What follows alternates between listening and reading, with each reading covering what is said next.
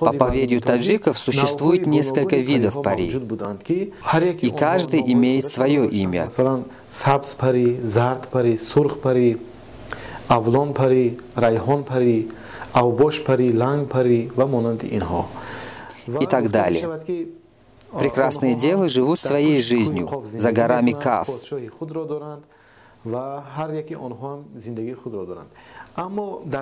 В народных сказках пари часто влюбляются сами и влюбляют в себя молодых парней.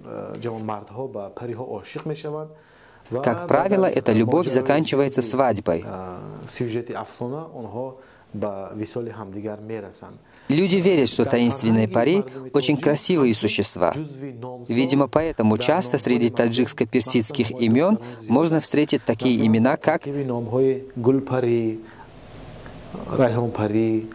Паризот, Париваш, Парисо, Махпари, и множество подобных. К слову, такие же имена встречаются и в тюркоязычных странах. В Узбекистане, Казахстане, Кыргызстане, Туркменистане, Азербайджане. Правда, в каждой стране у них свое произношение.